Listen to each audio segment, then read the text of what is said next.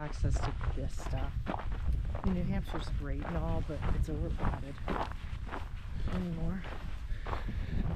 Are you not into the people thing? Oh, look, there's no people. like, it's October and there's no people. You can't even move in New Hampshire this weekend. Pam Solo hates New Hampshire, everybody. No.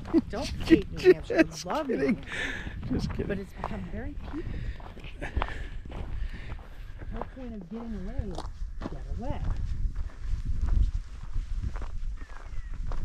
Here, I just think there's so many more backcountry options Yep. for like off-roading, camping. Like,